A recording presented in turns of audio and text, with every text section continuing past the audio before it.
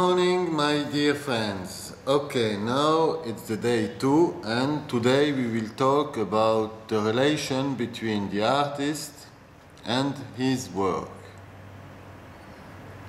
It's very important point. But before, we must categorize the artists because you have many categories of artists. Nobody can know all the categories, but anyway, there are many categories. Okay. The first category is, the artist. I talk about a painter.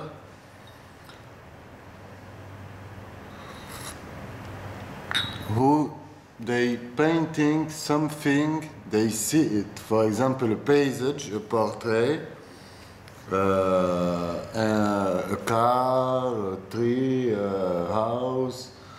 He see what he paint. so this kind of artists use the techniques more, much than the feelings.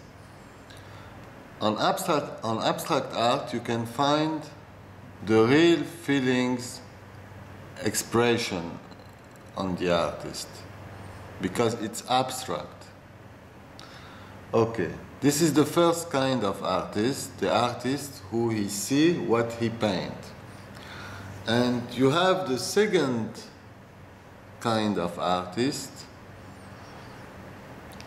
uh, like me, I am artist and uh, I don't see what I paint, but I paint what I want to see. I talk about abstract now. So you see, you have many.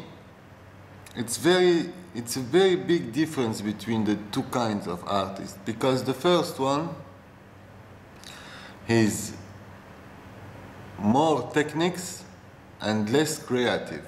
The second one is more creative but less technique.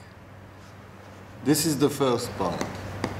On the other way, you have a vision about the artist. Many people think artists are poor, are alcoholic, he never sell any paintings. Uh, he his life is very hard because uh, maybe people don't like what he paints. But this is not all the artists. You know, I want to talk to you about new kind of artists. It's not new, but maybe many people don't know this. The relation between artist and his artwork. When you express your feelings on the, on the canvas, on the painting, it's like you give a confidence. It's like you give a part of you it's like you share what you have inside yourself. So, when you see, like me, I'm living between all my paintings. I have more than 120 paintings around me. This is not means I'm living with art piece. This means I'm living with each part of me because it's my feeling. And finally, every day when I wake up, my paintings, it's like the mirror. Not the mirror give me the image of my face, of my body, of my haircut, no. This mirror give me the image of what I have inside myself. So this is why the relation between me and my paintings it's very, very, very, very strong. For example, I will never uh, be alcoholic because I don't sell a painting, but maybe I can be uh, not good because I sell it. Because it's like I give some part of me to other and the other give me only money. I hope you can understand this little point. During long time, I asked, I was asked myself why when some some client come on my home gallery and ask me how much is this paintings, I have problem to answer. It was not because I'm shy or I don't like money or something like this. It's about how can you tell me how can you give a price for feelings? It's impossible. It's like you tell me how much is your love, your love feelings. It's not logic, but anyway, I know it's very strong point, but this point is very important.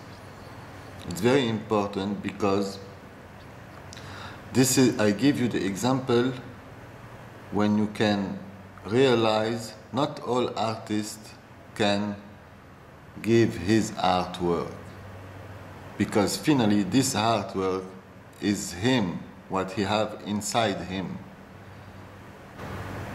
for example you can offer and feelings one feelings. I give you my love it's free. But you can't sell it. For example with all my many paintings around me, if somebody come and ask me, I need the paintings, I really prefer he make me an order and I will make it his paintings because if I have a contact with him, I see him, I, I can know the personality of the client.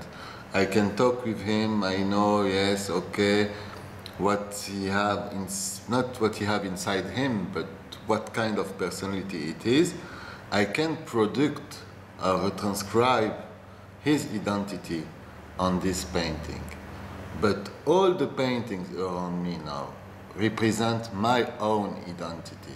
This is why it's so hard for me to separate this painting to me. I give you an example of a big, a big artist of pop art, Andy Warhol.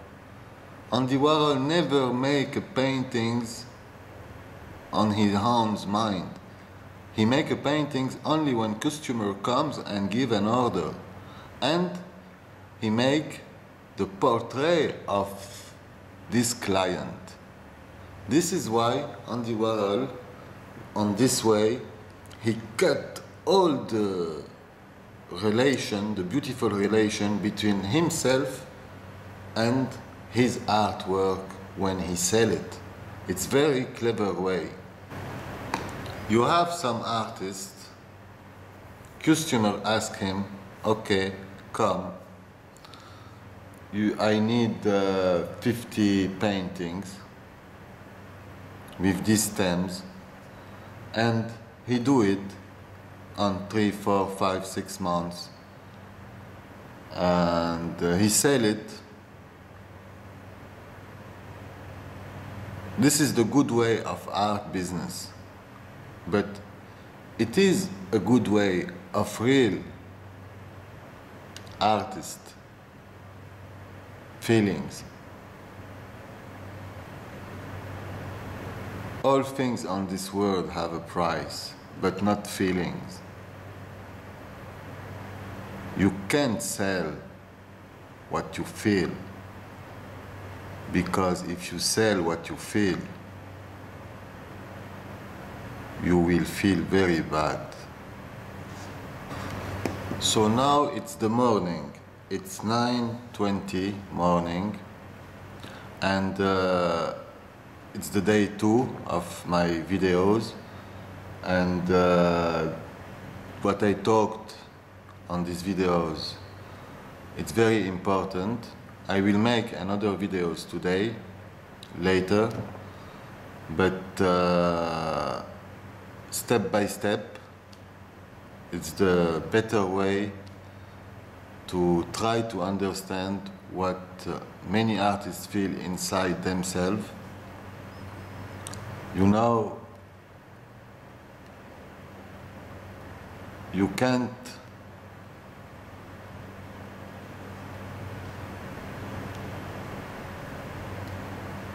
you can, but it's not easy to understand what I say.